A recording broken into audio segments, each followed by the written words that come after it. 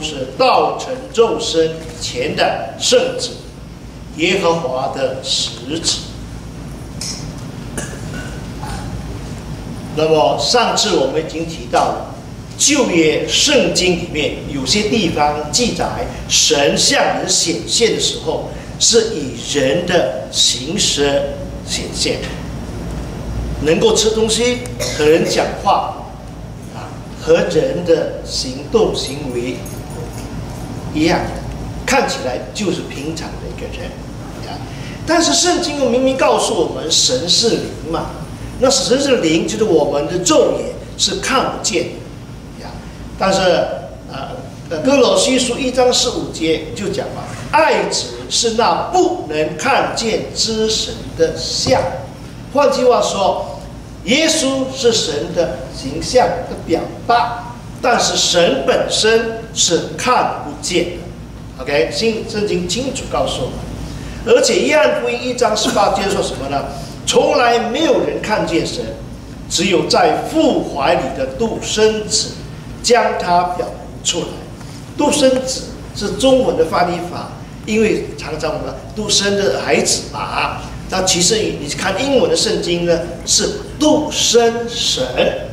所以有时候你看圣经，如果你懂几种言语的，我很鼓励弟兄姊妹，你多读其他的译本。比方说，从印尼来的，你除了中文以外，你读印尼文；越南来的，如果你会越文的话，你除了中文圣经以外，英文圣经以外，你试试看越南文的圣经，因为从一种文字翻译成另外一种文字，常常不能够全部把它翻译出来。如果你全部翻译出来，反而读起来很不顺。今天我们讲的就是有这个特点啊，等下我们会注意注意。所以，圣经说从来没有人看见神，而圣经又说父怀里的独生神就是圣子，将它表明出来。所以我们就可以这样推论，或者神学家就做这个结论，就什么呢？就是说，凡是表彰神的、代表神的，我们只能够看得见的，无论是人的形象表现出来，或者是天使的形象，这些。凡是代表神的，他就是三位一体真神里面的第二位。OK，就是圣子，所以你记得这一点，这点非常宝贵。OK，好，刚才我们的我们今天的讲题啊，你去注意去讲题的时候啊，我给你看看，你刚才讲题啊，后面耶和华的使者。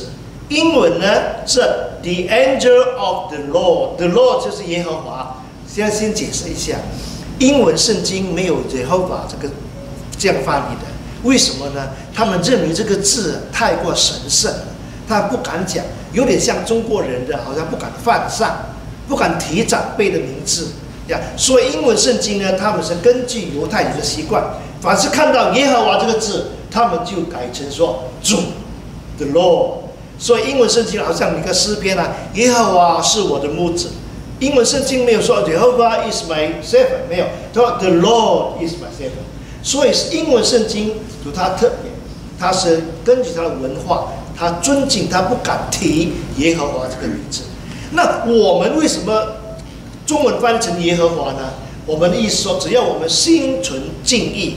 而且耶和华本身也是对神的一个尊称形容，是说他是自有拥有的神，所以我们这样称他，并不会犯上，反而是提醒我们，我们这个主是自有拥有的主。OK，所以你知道了以后，你就明白为什么圣经这样子翻译。好，那耶和华的使者，耶和华是 the Lord，但是使者这个字呢，如果你照英文去翻译的话，这个 the angel。就是英文的文法啊，我的英文不是很好，但是稍微粗粗的 简单的文法是知道的呀。英文的每个名词前面它有一个 article，就是冠词啊。冠词呢，就是要这个词句的目的，就是要限定解说它之后这个名词是怎么样呀。所以呢，这个是很重要的。为什么呢？里面有两种。一种是定冠词，就是某定某个限定的这个东西啊，就是定冠词，就是 the t h e the。如果后面是母音的话，就读成 the 啊。就是说后它后面这个名词呢，不是随便的一个，是特定的啊。我说也许用中文说特定的，就特定的一个东西。那本书 the book 就那个特定的书，不是随便一本书，是特定有限制。那么不定冠词呢，就是一个呃一个。一本书就什么都是一本书嘛。如果你说那本书还是不太好，因为这本书也可以嘛，是吧？但是可那特定的书就是那一本书，就好像以前我读过一本章，有一个很近前的老人家，他快他是其实传道人，他快离世了，然后他还有精神，他就叫他的子孙说把那本书拿来。那本书是什么？他心目中的那本书不是随便拿一本书，就是圣经。The book 就是那个本书，那特定的书对他来讲就是圣经，就书中之书嘛，对吧？所以呢，这个是啊，这个不定冠词的耳呢，一个呢一本书就是随便一本书嘛，是不是？但是如果说那特定的书就不同了，有限制。所以呢。那么上次我们信息讲完的时候，我们提到道成肉身前的圣旨。那后来呢，我读了一本一一个文章，就是等下我要介绍给你们。这篇文章呢，讲的和我讲的重点是一样的，不过他讲的更加仔细啊。那这是他的他他的他他的文章啊。他说，在英文圣经的一本里面，很奇妙的。耶和华的使者这个短句啊，在旧约出现五十二次，在旧约圣经里面，耶和华的使者，耶和华的使者，如果要照翻译的话，应该是说那特定的耶和华的使者，就觉得太过长，有点太，并不是很顺，所以它是简化，中文就说耶和华的使者。但如果你看英文呢，不是一个，其中一个不是，就说那个特定的使者。还有，我顺便提一提，这个使者和天使原文是一样的，就是 angel。angel 的意思是什么呢？就是传达信息的。所以使者、天使，英文都是 angel，都是都是天使呀。不过在这里说耶和华的使者的有用意和特别，有点区别。所以你看圣经，告诉你一个秘诀：如果你以后看圣经，旧约圣经。看到耶和华的使者，这个就是指圣子，就是指道成肉身之前的耶稣基督。为什么最近我们要讲这个题目呢？去帮助弟兄姊妹，因为平常我们讲到耶稣，我们很熟悉，是不是？耶稣的行事为人很多事迹，我们印象就是旧约时呃新约时代耶稣事迹是很好，不错。因为它表彰了神的爱、能力、怜悯、忍耐、恩慈，各种各样的美德。但是我们想，那耶稣没有降生以前是什么呢？啊，我们比较少这观念。那今天的信息就帮助弟兄姊妹知道，如果你要知道耶稣降生之前他做些什么事情呢？其中还有一个办法，你看旧约圣经，凡是圣经里面讲到某某人看见耶和华。就是不是真看见圣父，是看见圣子。旧约圣经里说，耶和华的使者对他说：“那个就是耶稣，就是还没有变成人的圣子，就是耶稣。”好像摩西在荆棘看见荆棘着火了，圣经说神的使者对他说：“这个就是耶稣，就是耶稣，就是圣子。”所以啊，以后你们都就业，凡是耶和华的使者。这个特别的词句，就是指耶稣基督还没有来到世界之前的那个圣者。好，耶和华的使者有五十二次，注意哈，旧约圣经里面耶和华的使者有五十二次，而英文圣经中耶和华的使者用不定冠词，哎。应该用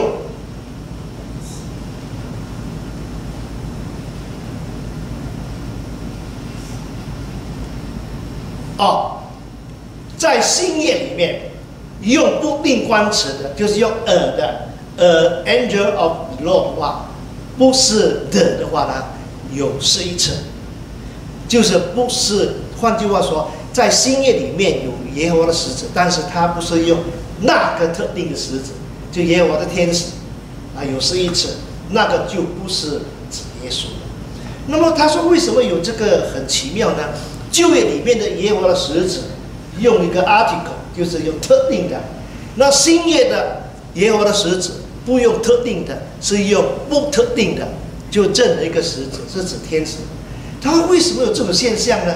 其实我们今天讲到，除了解释耶稣圣子之外，也给我们间接的觉得，哎呀，圣经实在是神的启示，圣经的启示是很一致的，不会互相冲突的，明白吗？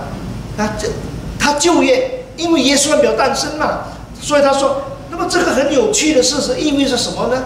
因为耶稣还没有诞生的时候，圣子在就业，就这这出现嘛，所以全部用特定特定的冠词嘛。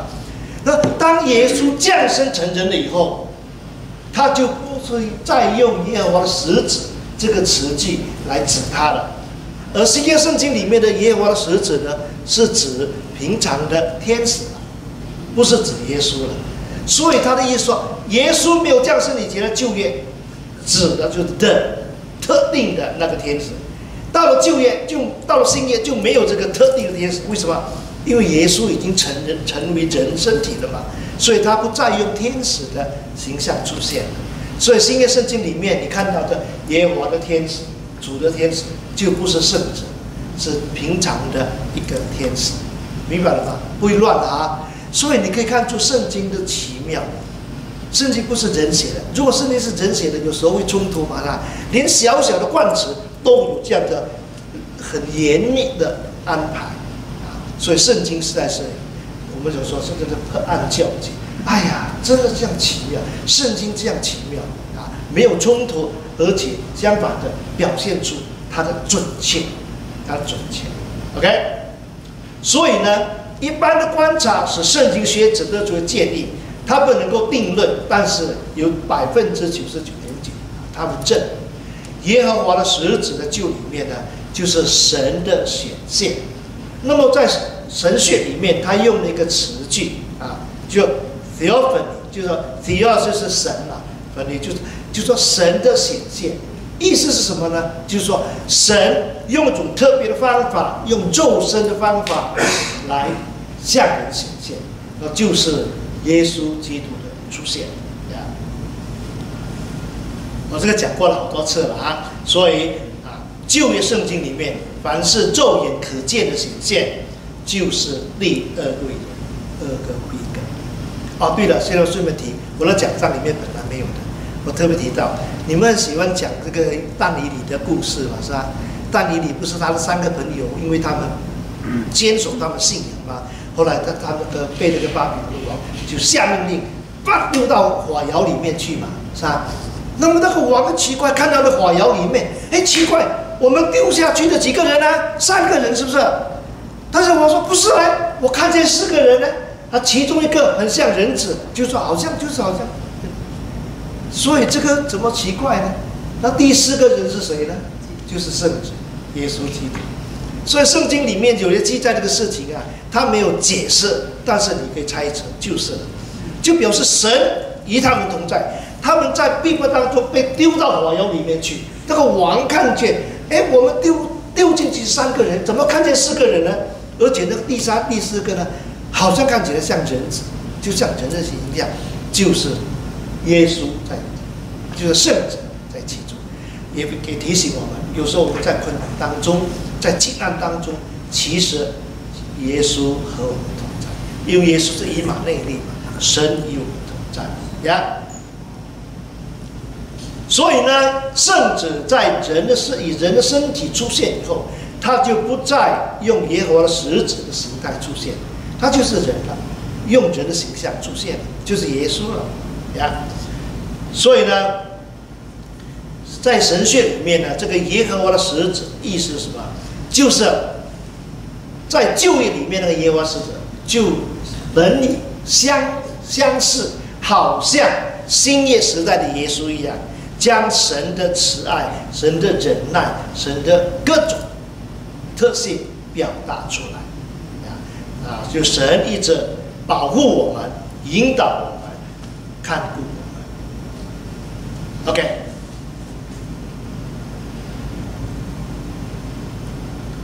那现在我我们就回去用圣经啊一些经文来来支持或者来印证我们所讲的哈。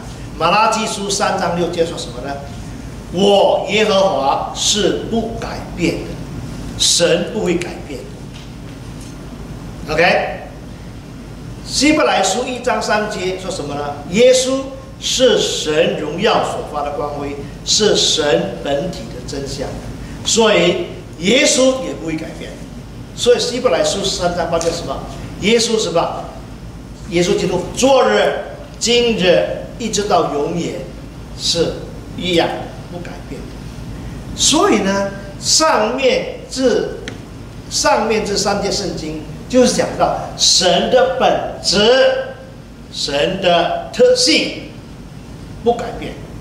那么下面三节圣经呢，是指这个不改变的神，但是他在人不同的阶段，他在世界上的事情历史当中的不同的场合、不同的时间，有不同的表现，明白吧？就比方说。啊，现在很很流行嘛，叫做重聚嘛，是吧？reunion，好像说啊，第几年毕业的同学，我们什么时候再次聚聚一下啊？然后见面的时候，哎呀，你都没有变呢，真的没有变吗？有，有变，面貌有改变了，各位。但是他说并没有变的，是可能指他的谈吐有变，对吧？那有时候我们说，哎呀，那个人啊。十年如一日，没有改变，没有改变，不是指他完全没有改变啊。那个人他的这个烧菜的这个艺术，他的这个技巧没有改变，不是指他每每次都煮到这菜不，他改他煮的烧的菜会变啊啊，但是他那种那种技巧那种能干没有改变，明白吗？所以我们说神没有改变。是指他的本质，他的忍耐、恩慈、良善各方面不改变，但是他在不同的场合，在不同的人，甚至同样一个人身上，不同的人生阶段的作为是不一样的，所以会常常新鲜的啊。所以有人也是说，比如说，哎呀，我们常常赞美主，赞美主到天上，永远赞美主，不是很？烦吗？没有新鲜感吗？不会的，不会没有。人家对你好，你说什么？人家替你做事，你你说什么？谢谢，是不是？那谢谢这个字啊，你讲多少年了？但你讲了会不会很厌烦呢？不会，你每次讲谢谢的时候，你都从心里面发出来的那种感受。你不见得说那个，哎呀，例行公事，哎呀，很烦的，讲谢谢，谢谢，谢谢。几十年了还是同样的字，不会的。虽然同样的字，但是每次你说出谢谢的时候，你那种心情是新鲜的。对你现在你对我的恩典，我的感受还是新鲜，我还是诚心诚意的受感动，谢谢。所以将来我们到天上去，你要赞美神了，不厌烦的。为什么你知道吗？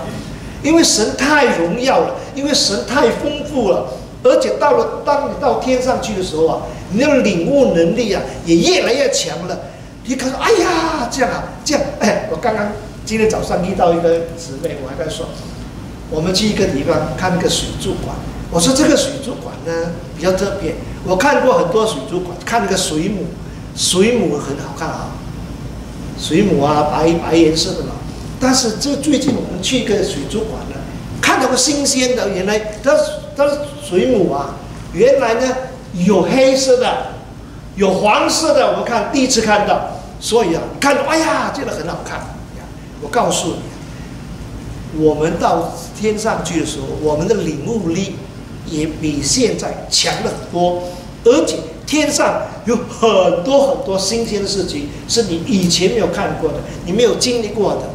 我告诉你，你到天上去啊，你说：“哎呀，神啊，你很伟大！哎呀，神你很奇妙，一点都不假装，一点也不厌烦，是真的，你从心里发出来，神啊，你真的很奇妙啊！哎呀，太美了，明白吗？”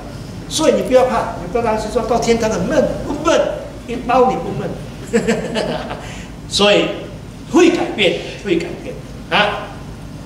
你注意去讲传道书，一起来读来。三章是一节：神造万物，各按其时，成为美好。注意啊，这里的神造万物，这个造是包括创造。但是不限创造，换句话说，神创造的万物每个时期都不同，都会成为很好。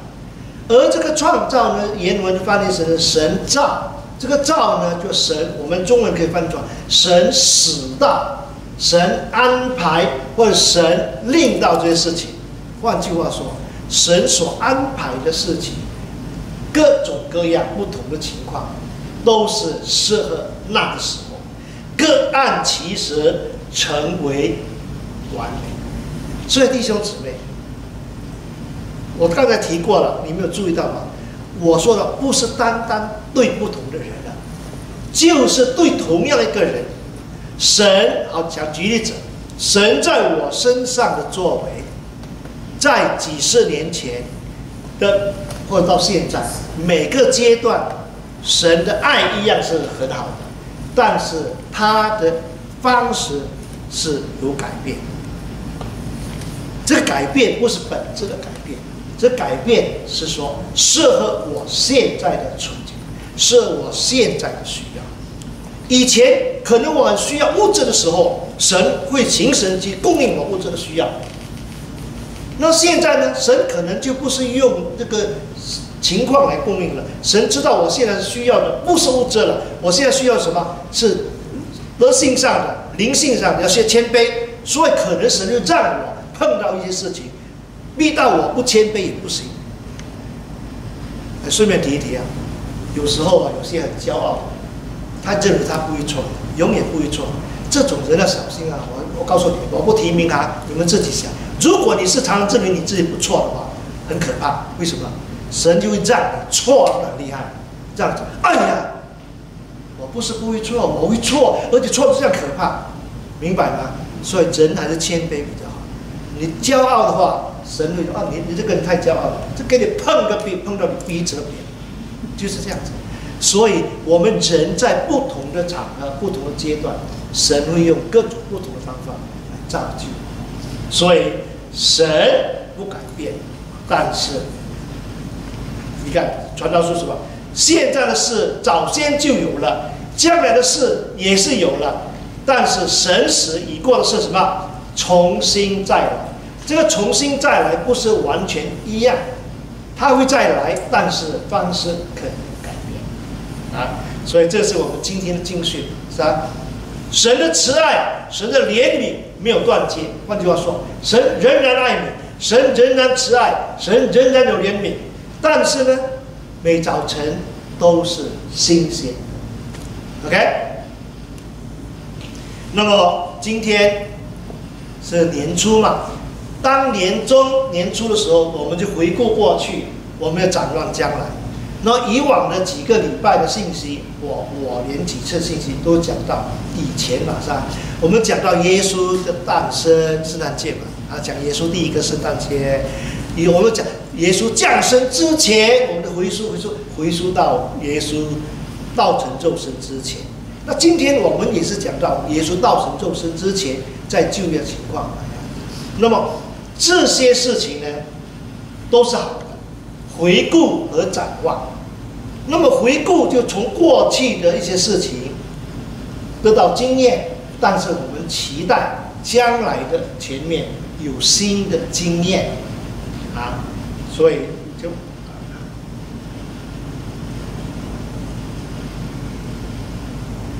马太福音一章二十二、二十三节，这里提到什么？这个天使说的话，这些是成就，要成就主借先知所说的话。必有同女怀孕生子，人要称他的名为以马内利。以马内利翻出来就是神与我们同在。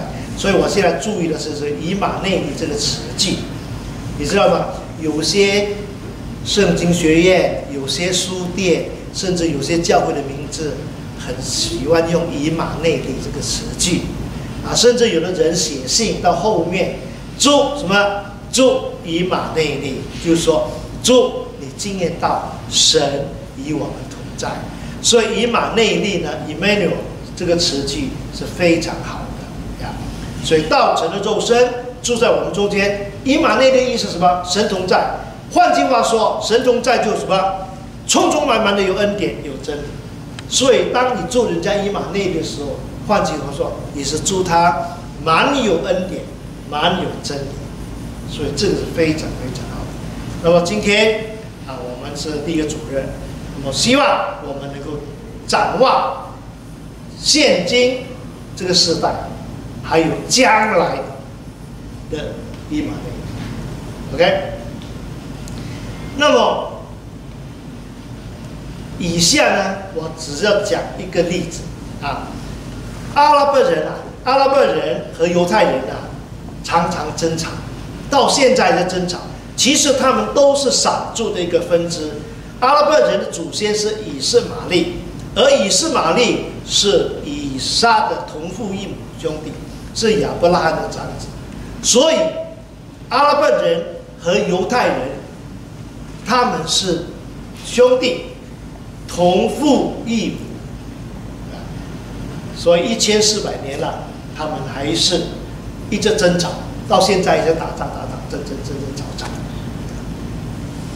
顺便呢，警告我，不可以娶两个太太。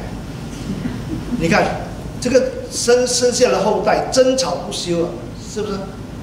那个是真的错误啊。那么，我们讲到耶和华的使子嘛，有很多例子嘛，五十多次是吧？啊，讲不完的。我今天写第一次，在旧约圣经里面，第一次耶和华的使子显现那个事例。做例子，那做例子呢？我刚才讲过了。那耶和华使子显现，就代表神表达他的个性，表达他的特性的方式。所以我们从那些事迹里面学到一些功课啊，参考耶稣在世界上的表现。那这样的话，由旧业有新业的配合起来，各种场合你经验到的时候，你就可以认同说：“哎呀。”在这种情况之下，神还是有恩典的呀。所以，我们新约我们看的多了啊，在什么情况下耶稣做什么什么什么？那现在我们看看就业提一个就好了，来帮助我们在那种情形之下，我们知道神也是和我们同在的。OK。那么，以下我们要提的是什么呢？我们明白以色列人和阿拉伯人亚伯拉亚。亚亚拉伯人、阿拉伯人、叫阿拉伯人之间的关系，也帮助我们列列明白神在犯错、受害，还有无辜，是不是？这些情形的支持下，所显的忍耐、宽容、怜悯、恩典，神都有恩典啊。好。这这段经文因为写的很精彩，所以我们就不用我的字，用圣经读的话，读过去就很明白了啊。哦，亚伯兰的妻子撒来不给他生儿女，撒来有一个使女名叫夏家，是埃及人，所以我们也知道了，阿拉伯人的祖先，父亲是以色列人，母亲是什么？埃及人。所以他们的埃及又有关系啊。那么这个沙来呢，自作聪明，他就对亚伯兰说：“他说，求你和我的使女同房，或者我可以应用他的孩子。这就有点像中国人的或者以前的嘛啊。或者以前的皇后不会生的话，叫一个一个一个另外一个替他生生了以后，孩子还是属于他的嘛。所以沙来就自作聪明，他自己不生嘛，他要把他使女。叫他先生给他做妾，生孩子就属于他自己。所以呢，亚伯亚伯兰听从了撒来的话，有些话不可以听的，有些话听了就糟糕了啊。以是亚伯兰的妻子撒来将使女埃及人夏甲给了丈夫为妾，亚伯兰与夏甲同房，夏甲就怀了孕。他见自己有孕，就小看他的祖母，骄傲啊，也可以说忘恩嘛。他主他他他主人太太啊，让他和他他的主人啊结合，说他有了孕，他就小看他。下来就忍不住这个气啊，可能给常常给冷嘲热讽啊，讲那些话啊，弄得他耐不住。下来对亚伯兰说什么？我因你受去，哪里是因你因自己？他自己的自自己的主意嘛啊。所以这个人就是这样，自己犯错了还怪别人。我将我将我的使女放在你怀中，他见自己有了生育，就小看我，愿耶和华在你我中间判断。亚伯兰对撒来说：“哎呀，你是你是正室嘛，哈，你你你你你你还是有权柄的。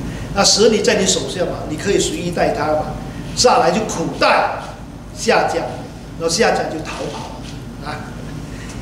好，现在呢，他逃跑，逃跑离家了，出走了，遇到谁啊？遇到圣子，耶稣基督道成肉身之前，耶和华的使者，那个特定的使者，在旷野苏尔路上的水泉旁遇见他，对他说：“下来的使女下家，你从哪里来？要往哪里去？不是不知道。”他知道，他连的名字都知道，怎么不知道他哪来？只是给他反省。那下家说：“我从我的祖母下来面前逃出来的。”但是耶和华的使者就圣子说：“你回到你祖母那里，这个不是不是 grandma，是你的你的你的主人那边去，伏在他的手下。”又说：“我必使你的后裔极其繁多，甚至不可。”胜数，你看，虽然下嫁生的以色玛利不是神心意计划中的后亚伯拉的后代，但是他是无辜的，是大人犯的错嘛，剩下的这个这个这个这个以色玛利嘛，所以呢，神也是公道的呀，神公道的，他是无辜的，好，没关系，我虽然。为了我的计划，我不会让他继承这个救恩的事情，但是我会公道，我还会赐福给他，我会使他后裔繁多，而且不可胜数。知道？你如今要生一个儿子，是是男的哦。你看那个天使，这个耶稣啊，这个这个圣子，表明他是他是特别的，他不是猜的，他就说你生的是个儿子，男的。给他起名叫什么？以斯玛利，因为耶和华听见了你的口气，所以以斯玛利的意思是什么？神听见了。啊，所以这个也告诉我们了，就算我们受人家逼迫害，甚至我们当然是我我们自己错了啊，那只要我们肯悔改，神还是有恩典。你看，这个下家本身有错，但是神还是说。你的恳求，我听见，所以我知道你的口情。他什么？他要像野驴，他的手要攻打人，但他脾气不是太好啊。人也要打他，所以这个好战，打来打去。他必住在众弟兄东边，那个是指他居住的后代所以名字。所以下家呢，就称那对他说话的耶和华，你看。他这里不说耶和华的使者啊，是耶和华，就是三位一体的真神，当然是指圣子。他称他是看顾人的神，因而他说：“我在这里也看见那看顾我的吗？”后来夏家给亚伯拉生了一个儿子，亚伯兰给他起名叫什么？以色列。你知道吗？你去看那个以阿拉伯人的历史、回教的经典，他们呢？一方面，他们知道以斯玛利是夏甲生的，但是呢，在某方面，他们又常常要篡改圣经。他们说亚伯拉罕不是献以撒吗？啊，那你去看那些回教书，他们有时候他们把它改，他说亚伯拉罕献的那个不是以撒，是以斯玛利。他们一直还是要争取，要回到说以斯玛利斯亚伯拉罕正子的这个后这个继承者，其实不是。他他不是神计划当中的，神计划当中呢是以撒，不是以斯玛。好了，好，我们现在结论了哈。这那亚伯拉罕信心软弱，听从了自作聪明的妻子下来的话，而那下降一切，那这是错了，对不对？那么下家呢又犯错，为什么？下家呢骄傲自大。啊，看清他的主人的太太，使到自己落到苦难当中，也是自讨苦吃。那么这个腹中的孩子胎儿更加无辜了，又不是他的错，是大人的错，是不是？啊，都是错。那么这些情况啊，就是堕落人性的通病。我们现在这个世界，我们现在的世人，我们常常都是生活在这种情况当中。包括我们自己，有时候我们自己犯错，是不是？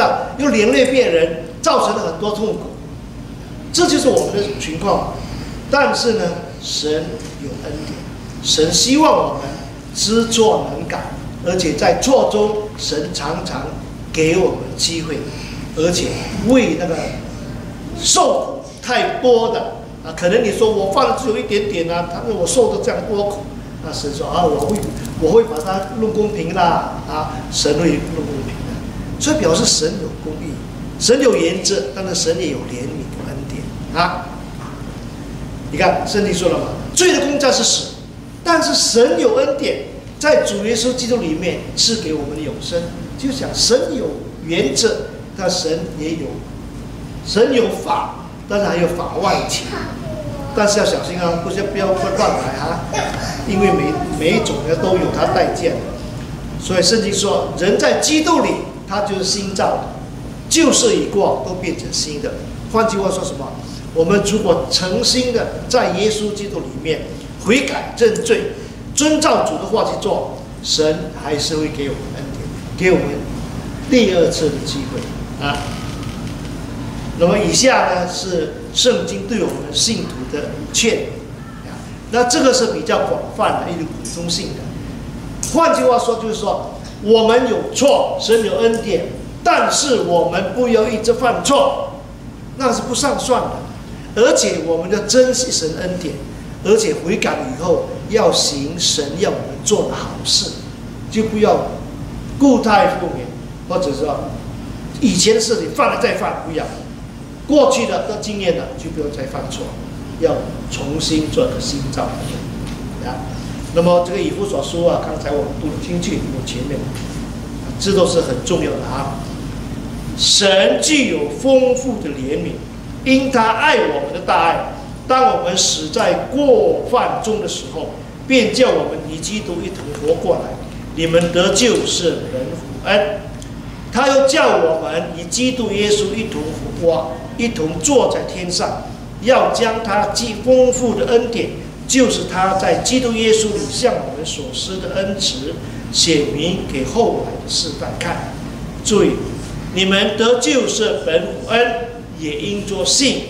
这并不是出于自己，乃是神所赐的；也不是出于行为，免得有人自夸。但是行为很重要哦。你得救不是因为行为，但是你得救了以后。你的行为要表彰神的美善。他说：“我们原是他的工作，在基督耶稣里造成的。为要什么？叫我们行善，不是再犯错，就是神预备叫我们行的。所以，愿今天的信息温故知新，进而什么温故立新，不但是从过去的世界。”从我们过去的历史得到教训，我们要有新的观点、新的看法，而且我们有新的行为去经验神新鲜的恩典。OK。我们今天讲的道，虽然是有点学术性、学术性，但是呢，也可以应用在我们的生活上。OK，从耶稣新约时代的所作所为，还有他道成肉身前所做的各样行为，所表彰的神的特性，我们吸取了以后，我们就知道神是怎么样一位神，而我们应该怎么做一个正确的回应啊？那这是希望大家温故知新，而且温故立新，经历新的恩典。好，以下是我们要守圣餐的时间，请啊梁莹和方吉帮我相。